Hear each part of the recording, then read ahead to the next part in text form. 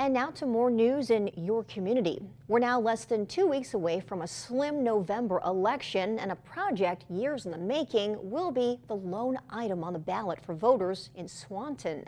They'll decide whether to pass an $8 million bond to upgrade the town's wastewater treatment plant, which has decades old equipment that's starting to fail. The facility was last upgraded in 1995, nearly 30 years ago.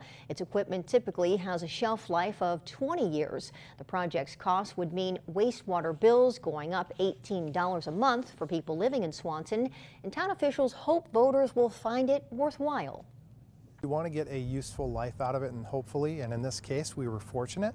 It outlived its, its life expectancy. This is a again a critical need, uh, and we think it's a reasonable cost based on the scope of the project.